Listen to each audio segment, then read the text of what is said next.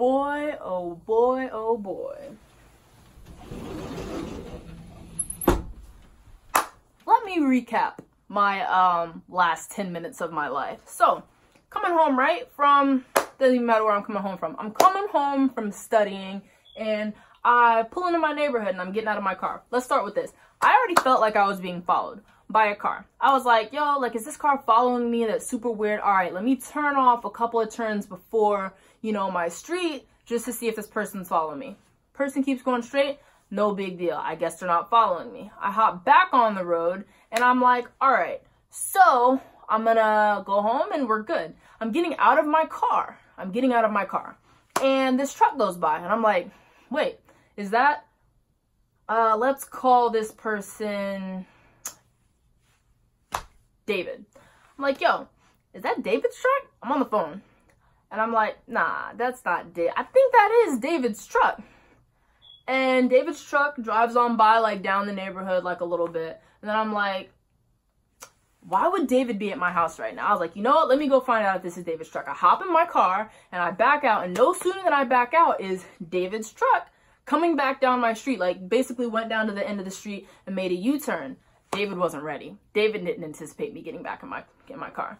So I'm driving down the street and I'm like, yo, this has to be David's car. So I'm not gonna lie. I was speeding a little bit to get to the bottom of the neighborhood because I'm like, I didn't know I was speeding because I was like, all right, let me just catch up a little bit. But this David's truck is like going and I'm like, what the hell? By the time I get to the end of the street, I'm like, yo, like, I think I'm speeding through my neighborhood right now. Like, I can hear my engine going. It's a red light. David hits that red light. He's like, nope, not today. I was like, look both ways. I'm gonna hit this light today. I'm, uh, today, I, I'm the right one today. Going down Fowler.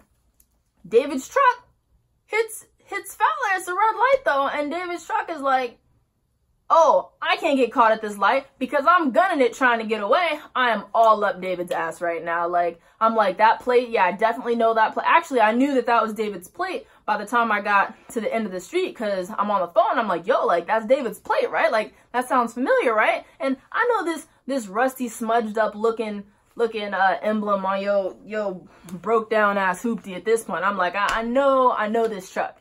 And I hit, you know, the main road and Dave was like, I'm not getting caught at this red light. I'm gonna cut through the corner of a gas station so I don't have to get stuck at this light.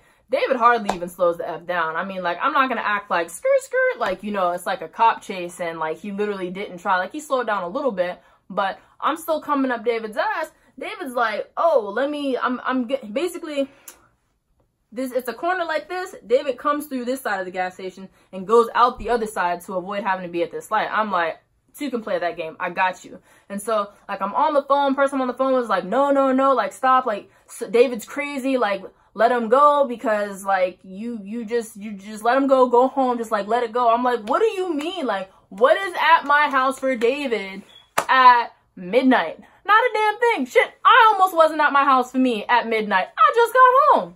So, I'm like, you know what? Fine, I'm gonna let it go because at this point, if I've chased you through two lights and we've hit three different roads and you're still speeding away from me, there's not even a question at this point. It's David and David knows like he's busted, he's caught. So my thing is right now, like, like I'm really tight about it. Like I'm, I'm, I'm, I'm upset. It's like, there is nothing here for you. Like there's not. I go out of my way to avoid you out of respect for myself and out of respect for you because I don't fuck with you. So with that being said, it's like, why are you over here technically and legally not doing anything wrong, but I'm like, why are you fucking with me? I ain't got shit for you over here, bro. Like, you could be anywhere else. Matter of fact, you supposed to be out with your bitch somewhere, bro. So what, what are you over here? What are you over here for? Because even though you didn't say you was going to be with Shotty, like, it's just assumed that that's where you're at.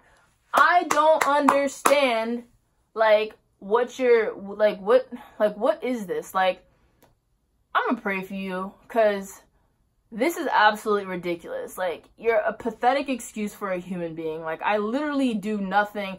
I might, like, talk my little shit or whatever about, like, how I don't fuck with you. But that's just to further, like, validate, like, what we already knew. Like, I don't like you. Like, at this point, there's no conversation to be had. Like, I don't even, like, go to your city because I'm like, there's nothing there for me. Even, you know, like the couple of people that I have in like your city, it's like I don't even go mess with them because I'm not even trying to be stuck in a light with you.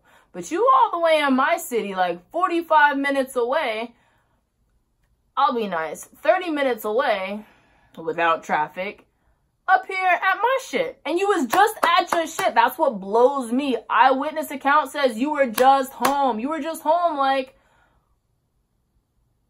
30 minutes ago. So literally you went straight from home where you were last seen to come over to my house. For what? Like what?